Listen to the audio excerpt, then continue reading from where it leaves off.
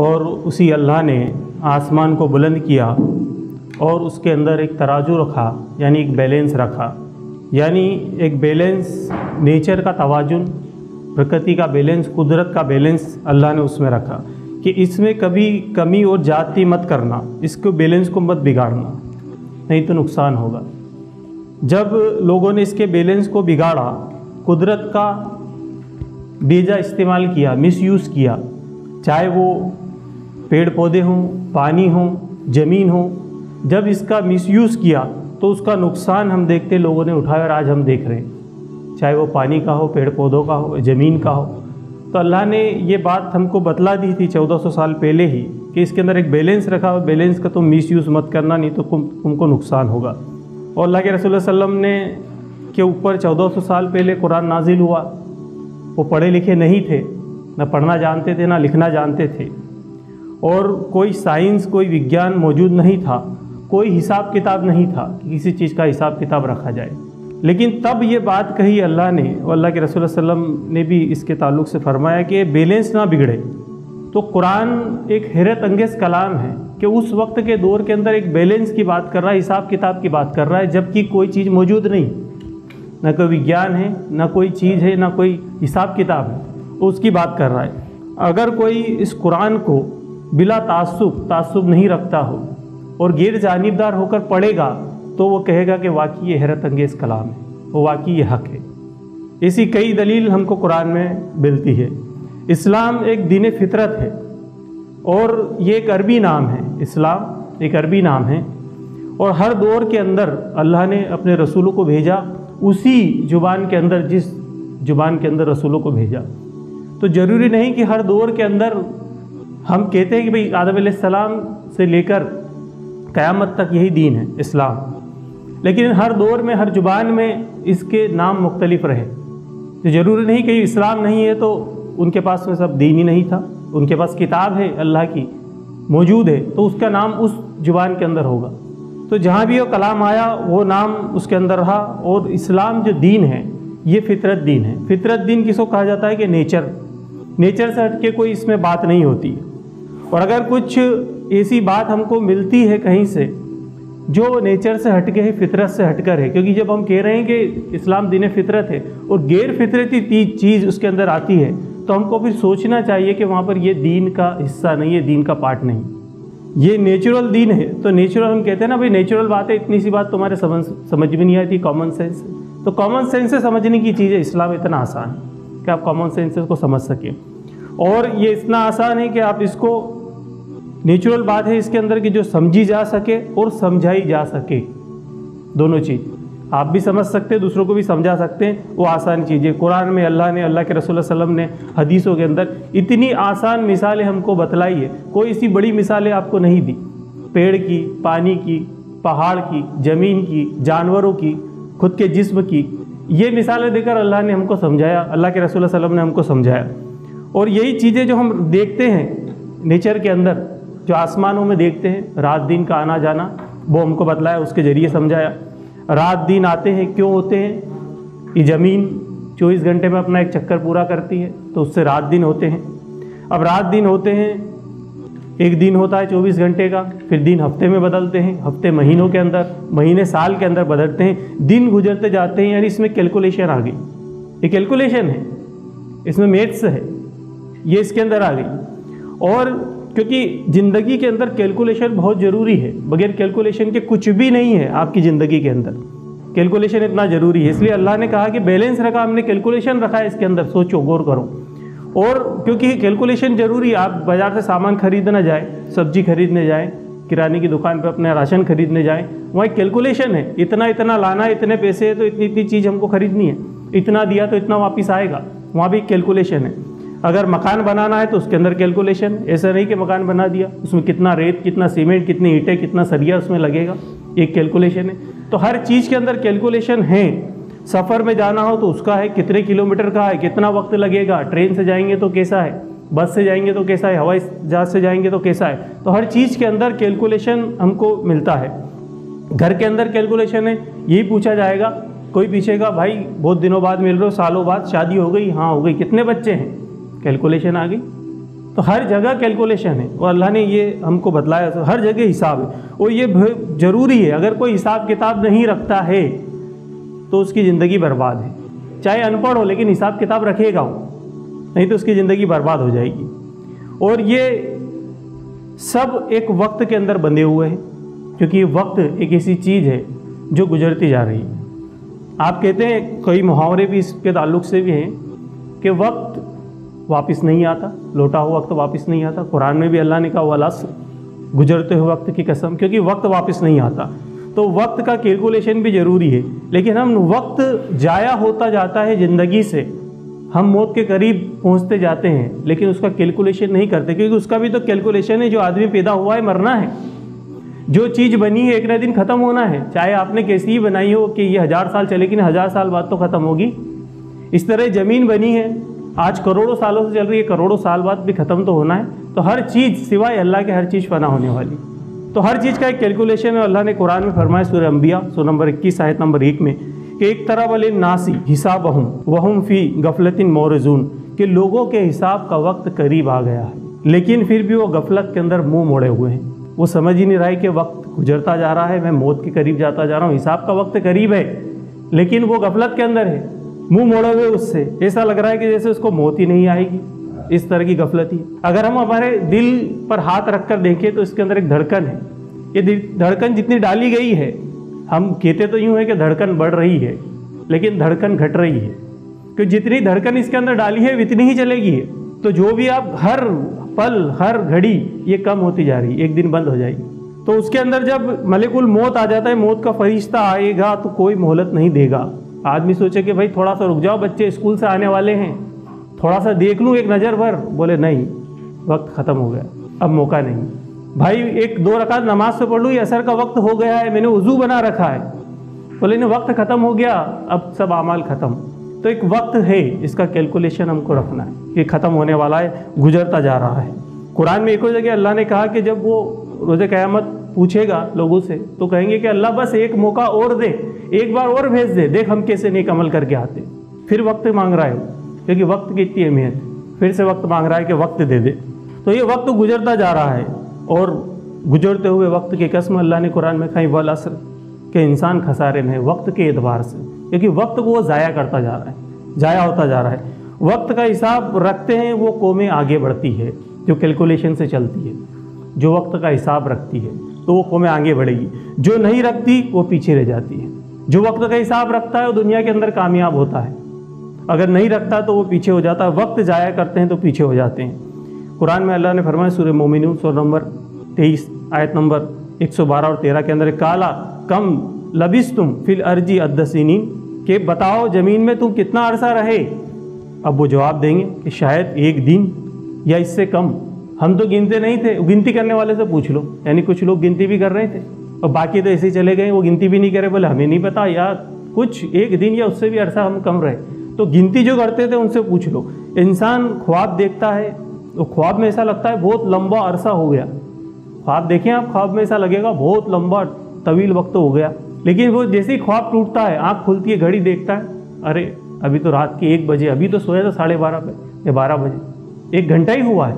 लेकिन वो ख्वाब में ऐसा लगता है कि बहुत बड़ा वक्त हो गया। हकीकत जब सामने आती है, आँखें खुलती है, तब पता चलता है। लेकिन ख्वाब के अंदर जो इंसान देखता है, उसके असरात उसकी ज़िंदगी में आते हैं। उस वक्त उसके हाव भाव चेहरे पर उसके असरात मौजूद होते हैं। जब आँख खुलती है तो हकीकत आ जाती है। ऐसे ही एक ये ज़िंदगी है, जब यह इसकी आँख बंद हो जाएगी ज़िंदगी के अंदर तो उसके बाद फिर वो असल ज़िंदगी, वो हकीकत आएगी, दोबारा उठाए जाएँगे तब। और जब वो अल्लाह के वहाँ उठाया जाएगा, यहाँ से मौत के बाद में, तब वहाँ पे असल हकीकत सामने आएगी और फिर वो ऐसा ही लगेगा, जिसे ख्वाब में लगता है। कि जैसे हम यह ख्वाब में देखते हैं, अरे इतना सा ही तो वक्त था, एक आधा घंटा हुआ, पर ऐसा लग रहा था बहुत लंबा ख्वाब हो गया। तो ये ज़िंदगी ऐसी लगेगी वहाँ पर जो यहाँ पर गुजार कर गया अस्सी नब्बे साल की, उसको ऐसा महसूस होगा कि अरे, ये तो एक छोटा सा वक्त था। अब क्योंकि अब मालूम पड़ गया कि ये तो हमेशगी की ज़िंदगी आ गई यहाँ पर तो वहाँ ऐसा ख्वाब जैसा उसको महसूस होगा। तो असल हकीकत वहाँ पर आ जाएगी, वहाँ घड़ी नहीं है, लेकिन ज़िंदगी की हकीकत वहाँ जाने के बाद मालूम होगी ज़िंदगी की क्या हकीकत है। कुछ हो गए जो बता देंगे कि कितना अरसा रहे जो वक्त को कैलकुलेट करके चलते थे, वक्त की पाबंदी रखते थे, वक्त को ज़ाया नहीं करते थे, उसकी गिनती रखते थे, हिसाब से चलते थे, यानी वक्त की कदर करते थे। वो जिसने वक्त की कदर नहीं की तो कहेगा कि हिसाब करने वाले से पूछ लो, हमें तो नहीं मालूम। अल्लाह ने फिर फरमाया 114 के अंदर के काला, कम लबिस तुम इल्ला कलीला, लो अन्नकुम कुन तुम तालमून। वो फरमाएगा कि तुम तो वहाँ बहुत कम रहे, काश के तुम पहले ही ये जान लेते। तुम जान लेते कि वहाँ कुछ अरसा तुमको रहना है। तुमने जाना नहीं। अल्लाह ने पहले से ही आने वाली ज़िंदगी के बारे में आपको बता दिया कि देखो, इसके मुकाबले में वो क्या है। ये उसका एहसान है कि पहले से बता दिया। तो ज़िंदगी के मुकाबले में ये ज़िंदगी क्या है? कुछ भी नहीं। हिसाब लगा लो। उस ज़िंदगी के मुकाबले हमेशगी की ज़िंदगी आने वाली है और ये चंद सत्तर अस्सी साल की ज़िंदगी है। तो अब हिसाब लगाएँगे तो क्या कैलकुलेशन इसमें आएगा? उसके मुकाबले में क्या इसको आप देंगे? कितना परसेंट देंगे? इसकी कोई अहमियत नहीं है। तो ये ज़िंदगी जवाबदेही की ज़िंदगी है। इसके बाद फिर हमेशा की ज़िंदगी हमको मिलने वाली है। हम सोचते हैं कि, कि भाई दीन के अंदर वक्त लगाऊँ कुछ आखिरत की तैयारी करूँ लेकिन बस ये काम हो जाए मेरा। ये काम अटक रहा है। छः महीने से लगा हुआ उसमें।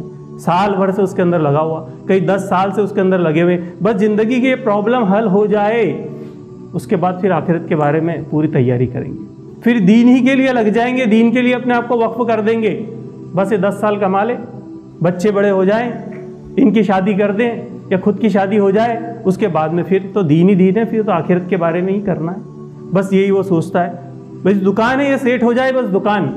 ये जॉब जो नौकरी लगी है, बस ये सेट हो जाए, फिर तो दीन में ही लगना है।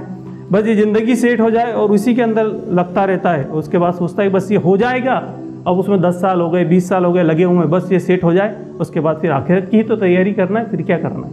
बस थोड़ा सा वक्त तो ये अपने आप से झूठ बोल रहे हैं। उनको पता ही नहीं कि उनका वक्त कितना है।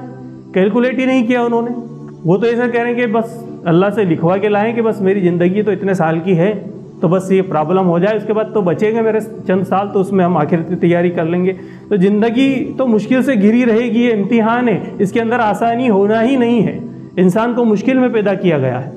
यहाँ कभी आसानी उसके पास आनी नहीं है।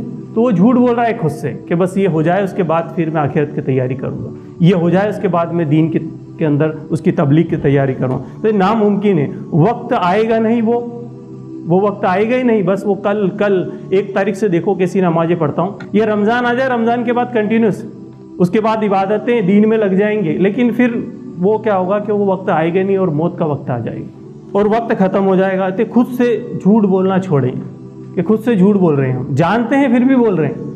मालूम है, लेकिन फिर भी बोल रहे हैं। तो ज़िंदगी, ये इस ज़िंदगी को उस ज़िंदगी से कंपेयर करें, हम कंपेरिजन नहीं करते दूसरी, बहुत सारी चीज़ों में कंपैरिजन करते हैं। ये मकान के अंदर कंपैरिजन मोबाइल के अंदर लेने गए तो कंपैरिजन सैमसंग का लेना है सोनी का लेना है एमआई का ले लें, उसमें कंपैरिजन कर रहे हैं। गूगल खोलते हैं उसमें कंपैरिजन देखते हैं, कौन सा अच्छा है। लेकिन अपनी ज़िंदगी का कंपैरिजन नहीं करते आखिर के मुकाबले। तो उससे कंपैरिजन करें। तो दीन के लिए वक्त कम लगाते हैं, चाहे इबादत हो, चाहे उसकी तबलीग करना हो। अगर तबलीग करते हैं तो आपके लिए आसानी वो देगा। आपके दर्जे वहाँ पर बुलंद होंगे। उसके दीन में मदद करोगे तो वो तुम्हारी मदद करेगा, तुम्हारे लिए आसानी पैदा करेगा। हालाँकि सोचे तो खुद के लिए ही करना है ये हम सोच रहे हैं कि अल्लाह के लिए कर रहे हैं। अल्लाह के लिए नहीं, खुद के लिए कर रहे हैं। तो खुद के लिए ही करना है। तो काम के लिए तो हम करते हैं। काम के लिए इंसान देखिए खाना छोड़ देता है। काम है। दुकान पे ज़्यादा काम है सब। तो काम में लगा हुआ है। तो उसके अंदर खाना ही छोड़ देता है ठीक है, एक वक्त का खाना नहीं, शाम को खा लेंगे। छोड़ दिया उसने खाना। सफ़र के अंदर मुश्किलें बर्दाश्त कर लेता है। भले पैसा बचा लें थोड़ा सा क्यों लग्जरी बस में जाना? ट्रेन के अंदर भी चलो लोकल में चल चलते पैसे बचेंगे। पैसे बचेंगे तो ज़िंदगी में आसानी हो जाएगी, सहूलत आ जाएगी। तो सहूलत पैदा करता है वो। इसलिए उसके अंदर मुश्किलें उठाता है और तकलीफ़ उसको लगती भी नहीं है। वो गिनता भी नहीं है कि भाई मैं इतनी मुश्किल में करके आया क्यों? खुद ने करा, था पैसा उसके पास, आता बस में आ जाता। स्लीपर के अंदर। हवाई जहाज़ में आ सकता था, लेकिन बचाया उसने, ट्रेन में आया। क्यों? और फिर उसको तकलीफ़ भी नहीं लग रही उसके अंदर। क्यों? क्योंकि उसको मालूम है कि ये पैसा बचेगा आगे आसानी। मेरे लिए आगे आसानी हो जाएगी।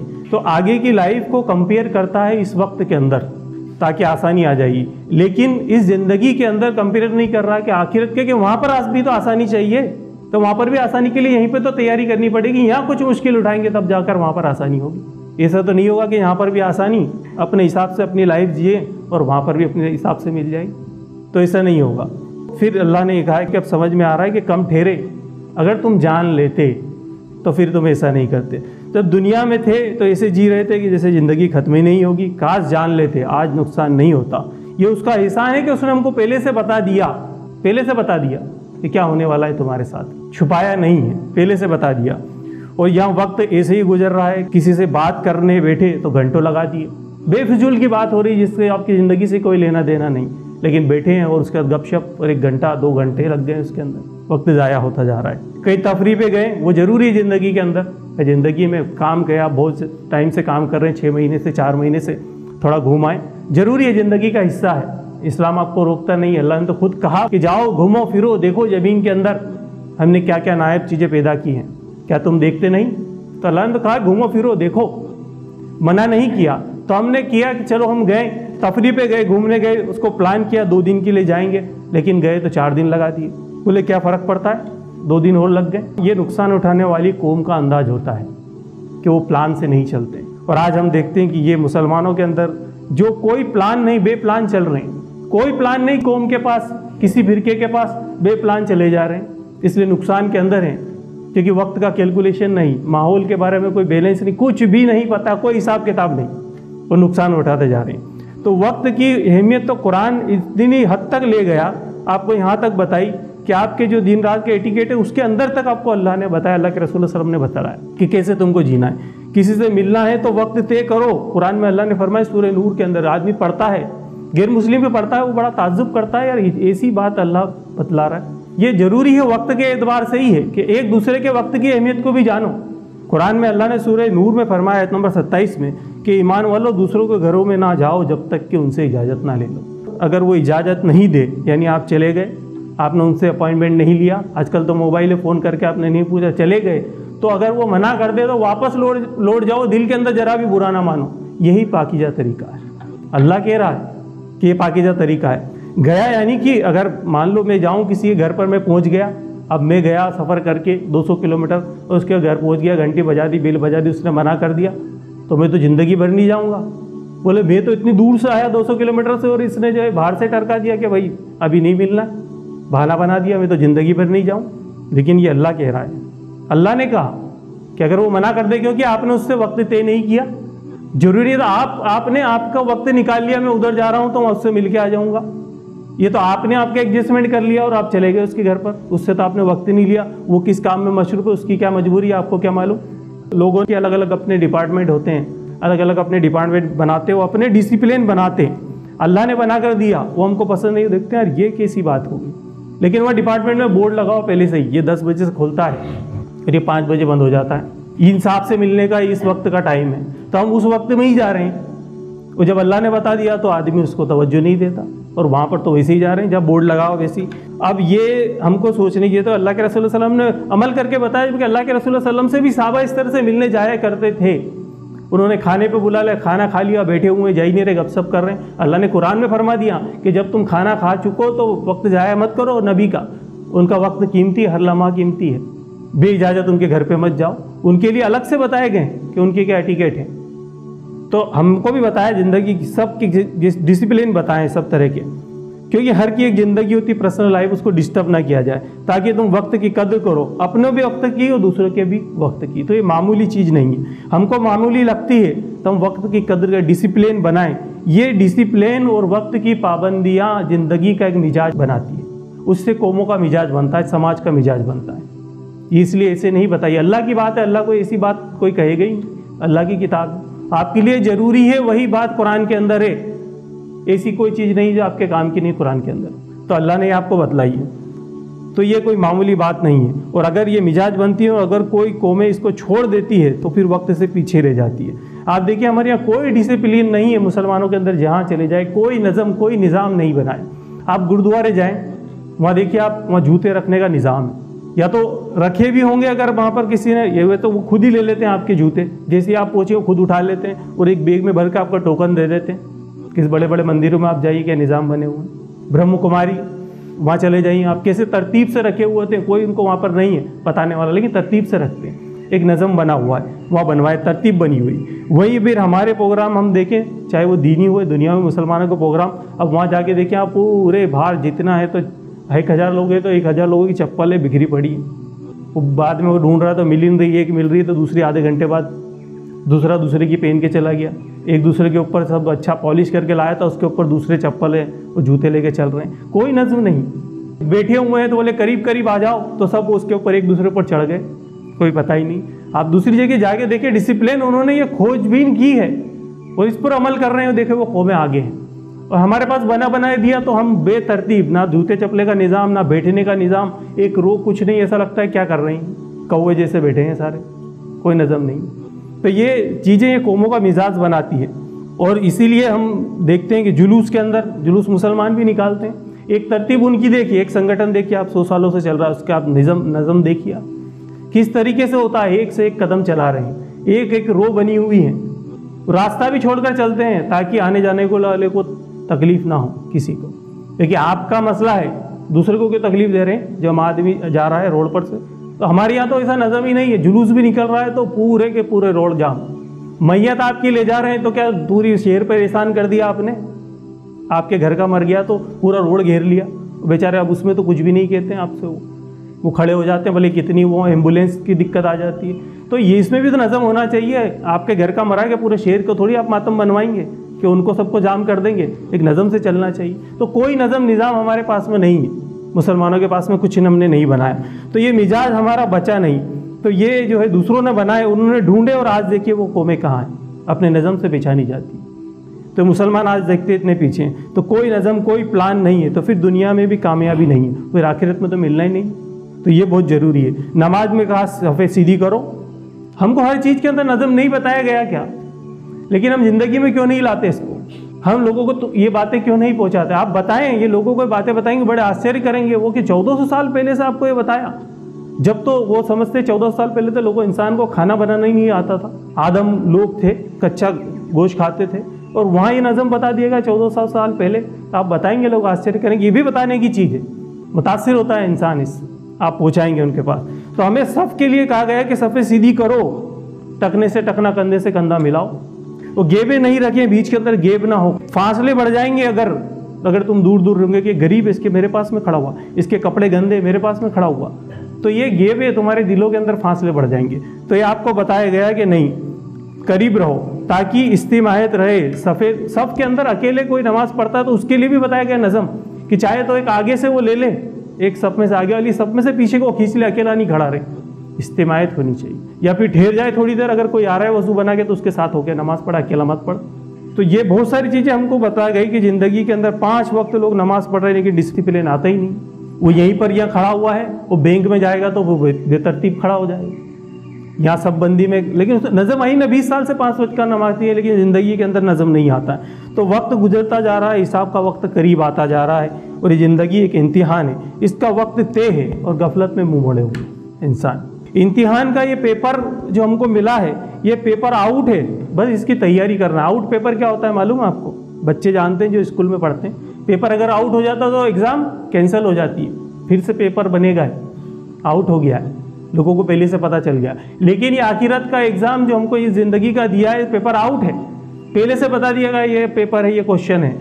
और साथ में आंसर भी बता दिया। ये आंसर ये आपको देना है। इस सवालों के जवाब है। और सबको पता है कब्र में क्या सवाल है, सभी को मालूम है क्या पूछे जाने? आखिरत के अंदर अल्लाह के रसूल सल्लम फरमात के पाँच सवाल पूछे जाएँगे, वो अपने पैर हिला नहीं पाएगा जब तक कि पाँच सवालों के जवाब ना दे। क्या है पाँच सवाल?